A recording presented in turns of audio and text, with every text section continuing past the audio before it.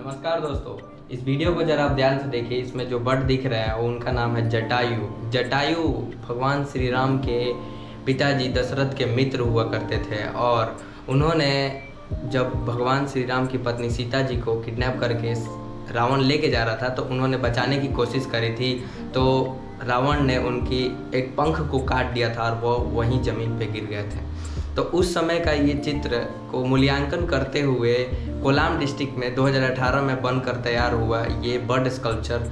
दुनिया का number one, दुनिया का सबसे बड़ा बर्ड स्कल्पचर माना जाता है।